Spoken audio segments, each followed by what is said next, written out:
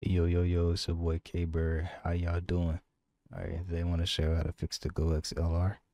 So recently, it's uh, it has not been working on Windows 11. I had to reset my computer because Windows 11 24H has been a big issue, and it's the software is fucked up, and I have to roll back my software. And I'm just like, bro, come on, Windows, why the fuck are you doing this to me?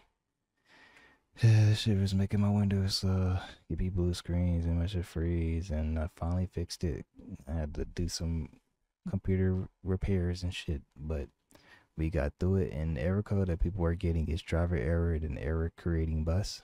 And it says it doesn't show when selecting a playback device. It didn't do that for me. And it says when opening Go XLR app, I got an error. Driver error, error creating bus. That's the one I got bus. But dice driver error loading chart. Yeah, I got that too. And it says in device manager, the Go XLR Mini has defined device status. It cannot start code 10. Um, I've tried using different USB cables. Start my computer, change USB ports, reinstall the software, update driver. But I also did all those things. I used a different USB C cable, restarted my computer, changed USB ports, reinstall the software, update the drivers, but nothing fucking worked. Now Go XLR y'all got to give us an update, man. Let us know if you're not gonna update it anymore.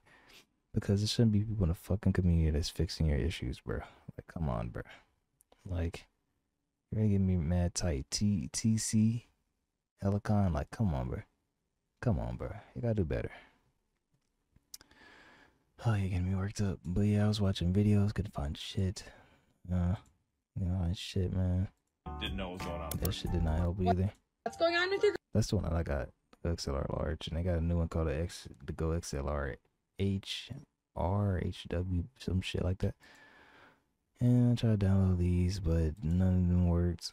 But I I didn't download that either. But I did find a solution, and that's why you're watching this video.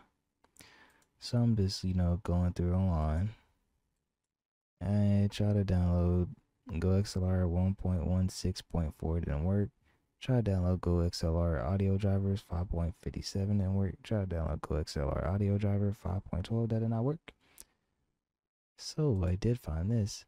It's um, Go XLR on Linux, Linux, Linux, Linux, Go XLR utility, and it's 1.14 hotfix. The latest is is a hotfix released to solve the issue introduced in 1.13 with volumes not loading. It didn't work. It, I mean, saying my volumes didn't load for me. It says loading correctly, even the profile on full size devices. So we have the full size device. So what you're gonna want to do is download Go XLR 1.1.1.1.4 EX. You do that. I'm gonna go to downloads, and it's going to be this one right here. You're gonna double click it. It's gonna open up and this is what it looks like. You got your you got your profiles got your samples presets all that.